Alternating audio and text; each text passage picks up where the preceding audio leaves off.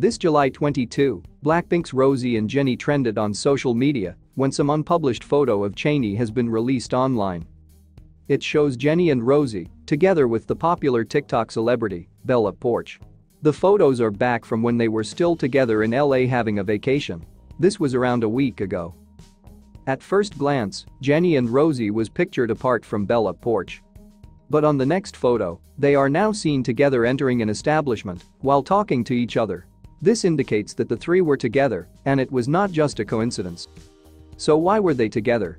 An explanation is that Bella is friends to either Jennie and Rosie, and that Bella is making a video content with Jennie and Rosie. Or, they could just be hanging out.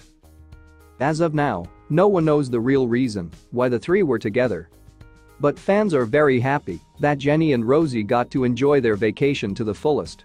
Now here are some of the comments from netizens.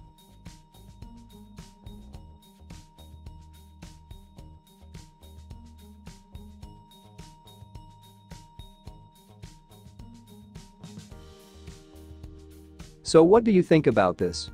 Please let me know in the comments section.